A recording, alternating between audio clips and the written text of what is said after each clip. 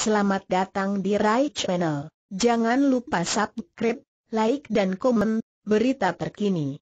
Shooting The Secret, Raffi Ahmad lihat sosok mirip Nagita Slavina di tempat gelap. Raffi Ahmad dan Nagita Slavina akan bermain dalam film The Secret, Suster Ngesot Turban Legend yang akan tayang di bioskop mulai 26 April 2018 mendatang. Raffi Ahmad memproduseri sendiri film tersebut. Selama proses syuting di kawasan Bogor, Jawa Barat, Raffi Ahmad mendapat pengalaman menyeramkan. Raffi mengaku melihat sosok wanita mirip istrinya berjalan ke arah kebun gelap pukul 02.00 dini hari. Syutingnya itu kayak di rumah sakit gitu. Aku lihat si Gigi, Nagita Slavina, ngapain jalan ke pohon sebelah sana?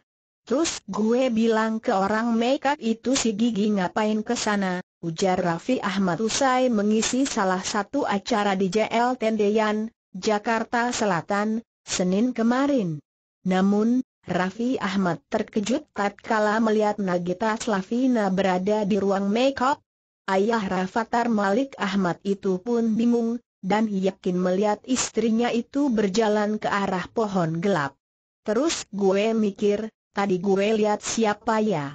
Sebenarnya kalau gue enggak pernah ngeliat makhluk halus secara langsung, tapi kan sosoknya itu kayak mirip Gigi. Tapi ternyata Gigi ada di ruang makeup, tutur Raffi Ahmad. Tidak hanya itu, Peristiwa aneh juga dirasakan Raffi Ahmad di kediamannya saat proses syuting The Secret.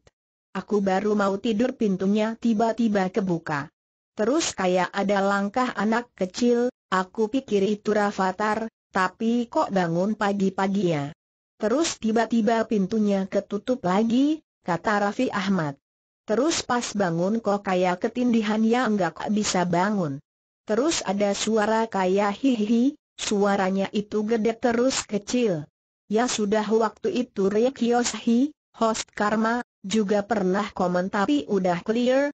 Memang kalau syuting kayak gitu suka ke bawah, pungkas Raffi Ahmad menganggap wajar. Terima kasih,